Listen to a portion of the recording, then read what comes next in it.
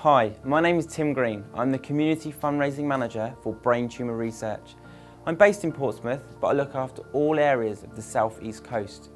I have had the honour and privilege of working for this charity since April 2015.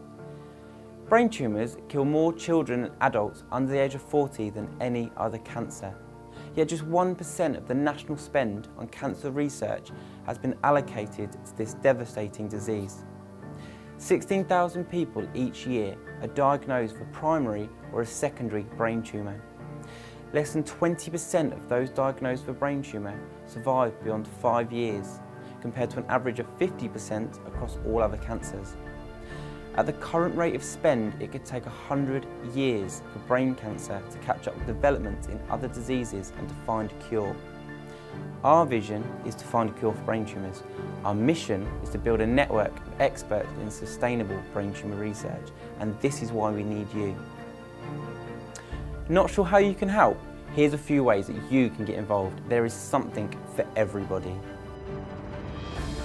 If you're looking for something fun, why not abseil the iconic Spinnaker Tower in Portsmouth?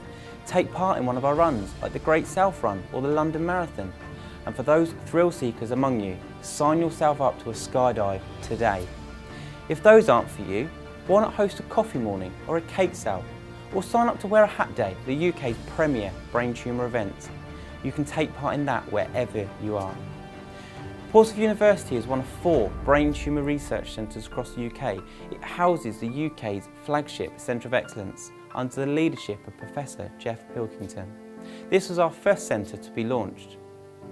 If you would like to see where your fundraising is being spent, we hold monthly lab tours and these completely free of charge. If there is anything I have said that has interested you, please get in touch. I'm always looking for new faces to join us on our journey. Thank you, and together we will find a cure.